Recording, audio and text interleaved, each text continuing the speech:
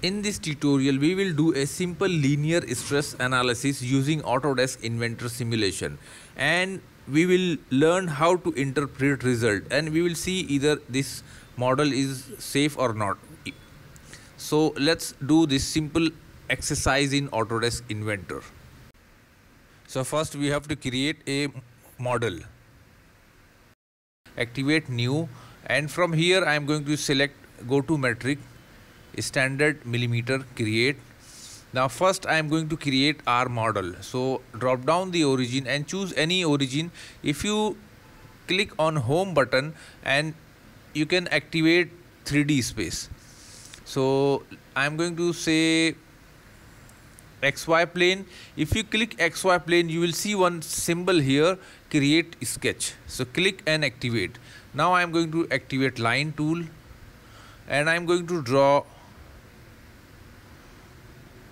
something like this.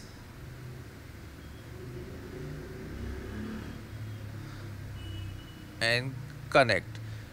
Press escape key or right click ok. Now make this constraint fully constrained. First I am going to choose here activate horizontal constraint. Now I am going to select this line. Okay this already there. Okay this already there now activate this vertical line and select this line. Now select this coincident constraint and select this point and this point. Okay, fine. Now select this midpoint. See this blue green line is the midpoint of this. Select this point and origin point and here it fixes. Now right click OK. Activate dimension I am going to define full length 80 okay? Okay again. Let's say this one 15 okay? Again 15 fine. Now distance between these two.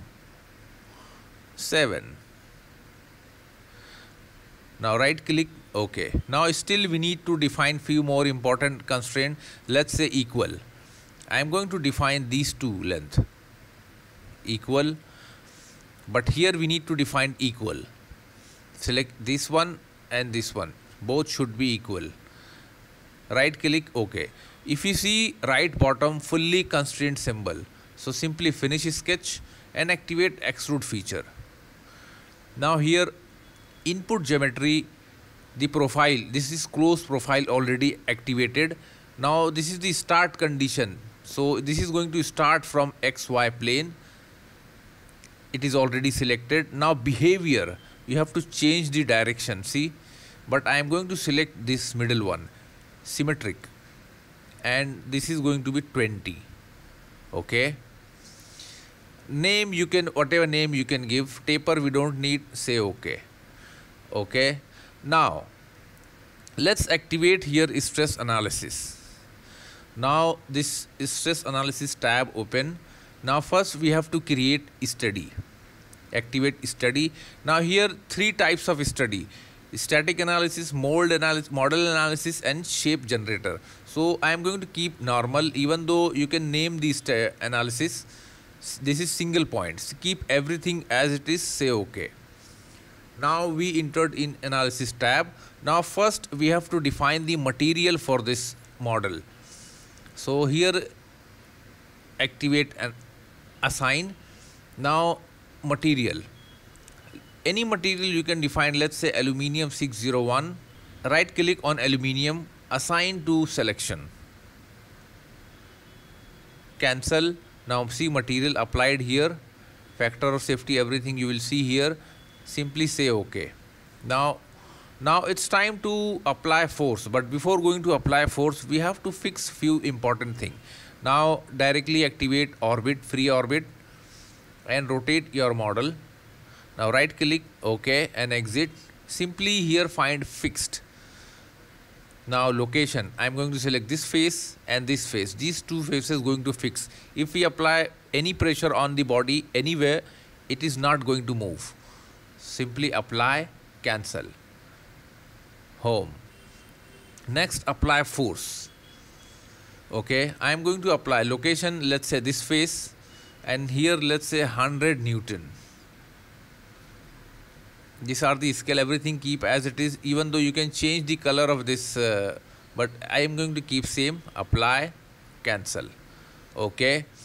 Now even you can apply mesh okay fine. Okay let's go to simulate and run. Look. If you don't want mesh simply uncheck check.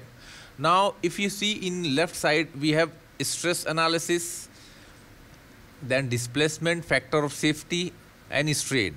So all the analyses are here and you will see one chart. This blue color shows minimum and orange or red color shows maximum stress. If i okay let's uh, there is one probe. If you want to find out analysis at any point simply click probe and let's say i'm going to select this po portion this one and see you will observe here stress analysis. Press and hold shift key and place middle mouse and move your mouse and see you can rotate the model.